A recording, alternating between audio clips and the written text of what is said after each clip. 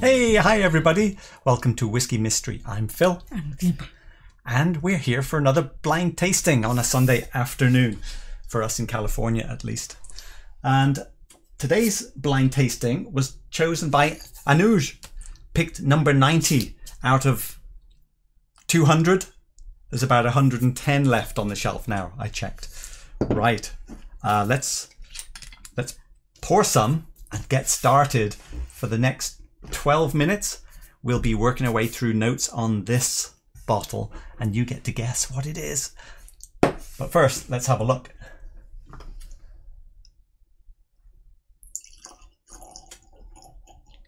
Hmm.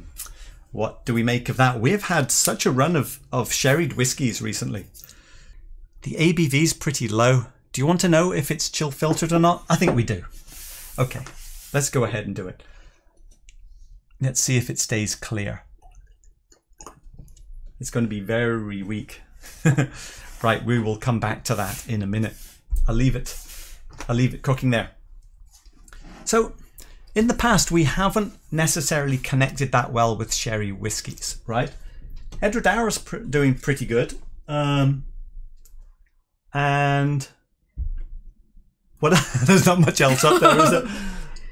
I think the Springbank has a bit of sherry, but it's more of a finish.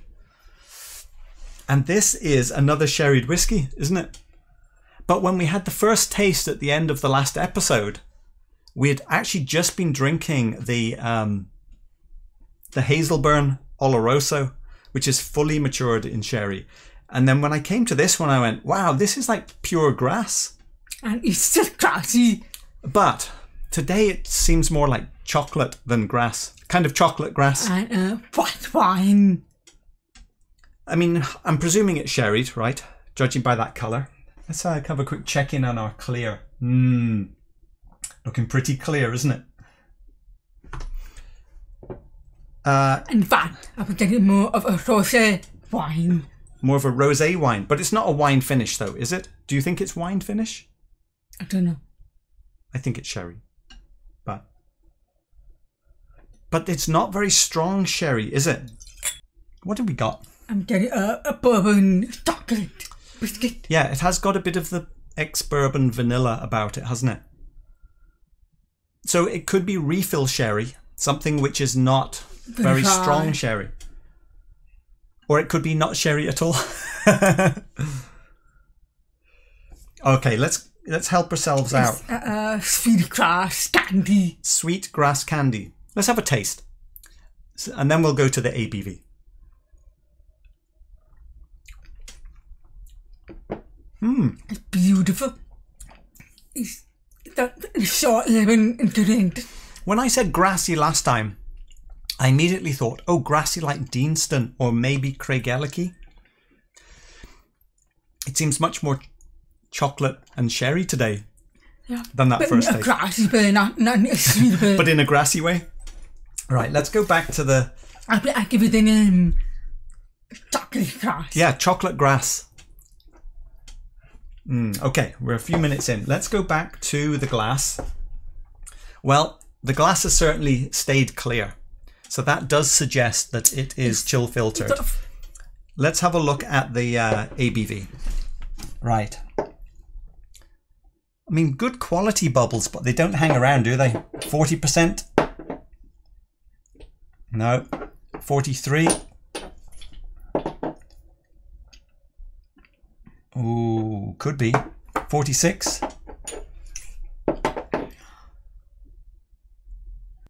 I think we need some help. It's very light. It's not strong. I think we need some help. So it's uh, 43 to 46. Yeah, I'm gonna have a look. Oh, okay. Well, that narrows it down. All right, people, we're off to a start. Forty-three percenter. Let's bring up the spreadsheet, and then you can start start the guessing because there aren't many in here. I will just let you shout out. Look, that's it. That's all of the forty-threes. And uh, um, I'm getting soft smoke, but more of a funky cheese, but it's very subtle. Some smoke, but more of a funky cheese. Very, very This subtle. isn't peated, No, no, no, it's not peated. so barrel char at max maximum. What I'm amazed though is how much I'm enjoying a 43% sherried, maybe whiskey. And only 43. There's quite a lot of caramel at the end, though, isn't there? But that And uh, the, it's not even 43. And uh, solidity. solidity. I have to say the flavors seem pretty strong for 43. now it's not yes. it's not alcohol strong, but the flavors seem dense. But pretty uh, classy. But not earth. That's, The nose is pretty complex, I thought. In fact, when I when I uh, where's my picture?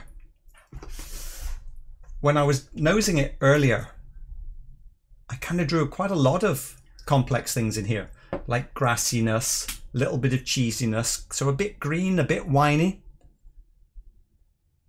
and uh, sweet sour.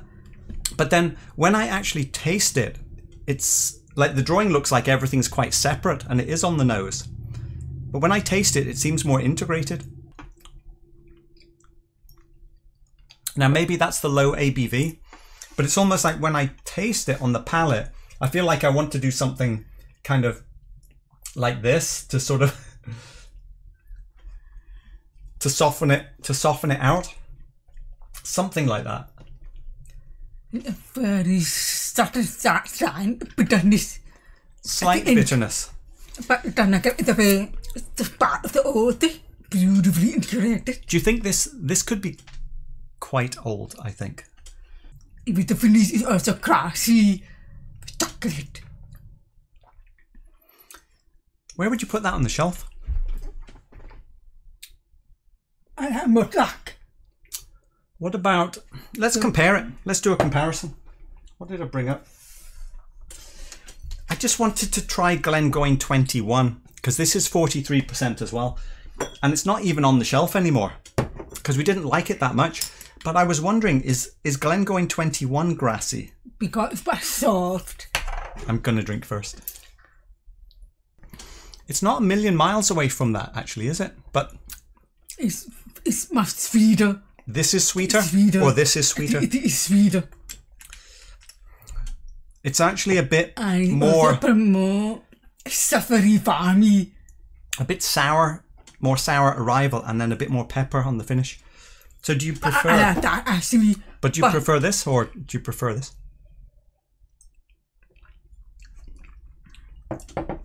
It's more confident. Let's try the Edradour. Edradour. This is forty six percent, so um, it's going to be a bit stronger, obviously. That's that's much richer. Like the sherry is much stronger in this. A bit shouty. A bit shouty.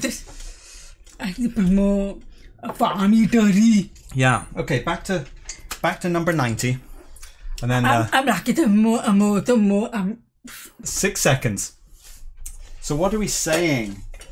Um, but I think it's my, this. orange- but it's my orangey flavour. it could be this. Oh, it could be Macallan eighteen. Aberlour. now we do have this old Glengoyne seventeen, and I think I'm going to, I'm going to pick this Glengoyne seventeen. Darren. Could I be one of the it's so orangey. Glenfarclases. There, there, there no citrus, there no orange. Okay. We could go up 17. I don't think it's a 25 year old. I think it's one of these two. If it doesn't say 17, we're in trouble. It is. Oh, what could it be? I'm stuck. It's 25 years old. It's good. It's about a $160 bottle. And it is a Speyside from Glen but, but I didn't get any orange flavour. Well, we've never had such an old. It is Glenfarclas 25. But So that means 25, that was worth it. That means we get it wrong. This is all we've got left. This was a sample, I think, from Sean. We did a trade. I thought you got it from Costco. No, no, we haven't got a bottle. This is it. I've looked at it in Costco. I've seen it in Costco for 135. Oh, that's that's Oh, cheap. we didn't- I, I think I think it's worth buying for under thirty-five. I think it is worth. Mm, yeah. It is worth it. You know, we didn't finalize where we were going to put that on the shelf.